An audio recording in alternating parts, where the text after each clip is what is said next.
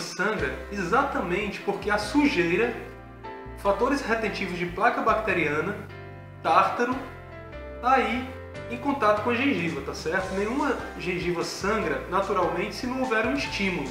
Então, quando você come o alimento, seja ele qual for, e não higieniza muito bem os seus dentes, esses restos alimentares vão formar aí a placa bacteriana. E essa placa bacteriana em contato com a gengiva, se não for removida através do uso do fio dental, essa placa bacteriana vai estar agredindo, fermentando aí através dos ácidos, né, a sua gengiva, tá?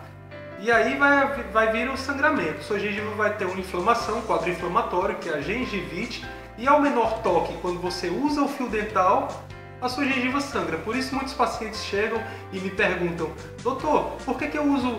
Por que, que quando eu uso o fio dental a minha gengiva sangra? Não, a sua gengiva não sangra pelo uso do fio dental, e sim por sujeiras, por, né, por placa bacteriana, por tártaro que está ali entre os dentes e na linha da gengiva, tá certo?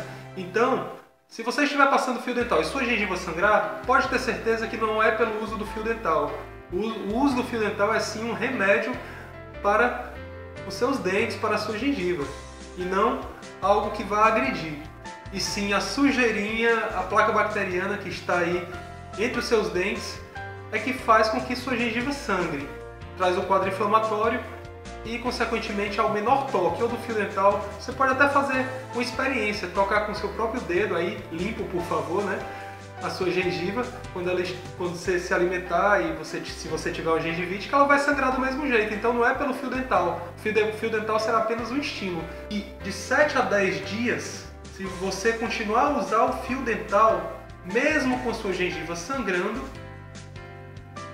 esse sangramento vai parar e aí vai resolver o problema. Por que, que esse sangramento para? É exatamente porque você, ao usar o fio dental, você está removendo essa placa bacteriana.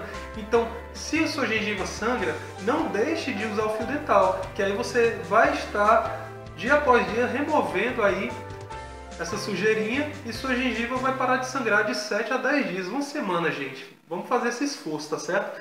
Em contrapartida, existem pacientes que passam o fio dental, tem a noia da limpeza, né? E passam o fio dental toda hora. Não, doutor, não se preocupe. Todo, todo alimento que eu como, eu passo fio dental. Isso também é errado, porque as pessoas, ao colocar o fio dental, elas geralmente colocam muita força. E ao passar o fio dental, acabam agredindo a gengiva. Então esse sangramento aí já não vai ser pela placa bacteriana, que não vai existir, porque essa pessoa passa fio dental toda hora, mas sim pelo excesso da passada do fio dental, do uso do fio dental e de agredir inúmeras vezes a gengiva. Então essa gengiva vai, vai acabar tendo um quadro inflamatório pela agressão do fio dental inúmeras vezes, tá certo? Eu espero ter esclarecido. Resumindo, se sua gengiva sangra ao passar o fio dental, use o fio dental. Use o fio dental! Não deixe de visitar o seu dentista frequentemente, pelo menos de 6 em 6 meses aí, Algumas pessoas que sofrem de gengivite, de periodontite, têm que ir ao dentista de 3 em 3, 4 em 4 meses, tá certo? O momento que se deve passar o fio dental é apenas uma vez ao dia, como eu falei, não todo momento, tá certo? Uma vez ao dia, imediatamente naquela escovação que antecede ao sono.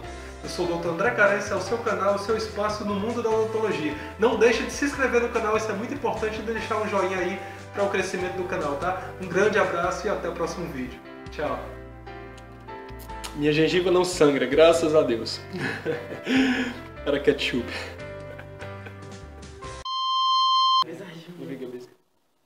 Tira de frente dos.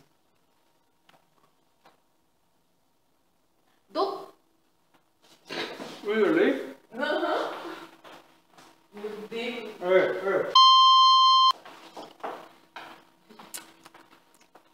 Minha gengiva não sangra. you know,